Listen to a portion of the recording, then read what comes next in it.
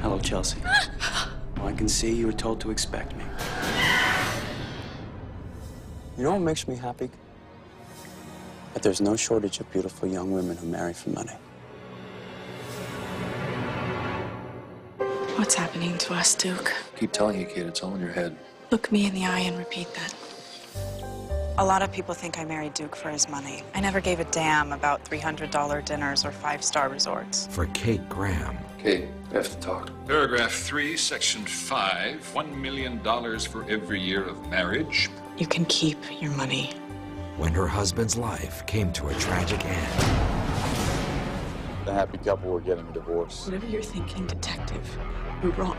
the real terror began. Let me out of this car. 10%, Kate. What's 10%? 10% of $103 million. What the hell are you talking about? I killed Duke for you. And I'm going to insist on being paid for my services. Let me out of the car!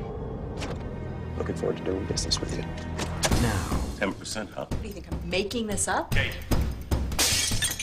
Do we have a deal? she'll risk everything Maybe we can work this out. I'm not giving you a single penny. to prove her innocence What do I have to do to convince you I'm not crazy? and stop at nothing You picked the wrong woman. It's double now. I want 20%. to make sure the killer You hear me? I'm not afraid. Everyone pays Kate. doesn't get away with murder.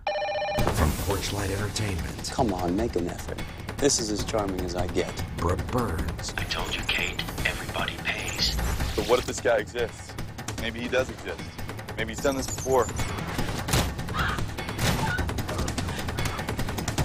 Should have killed you a long time ago. I told you everyone pays everyone. That's right.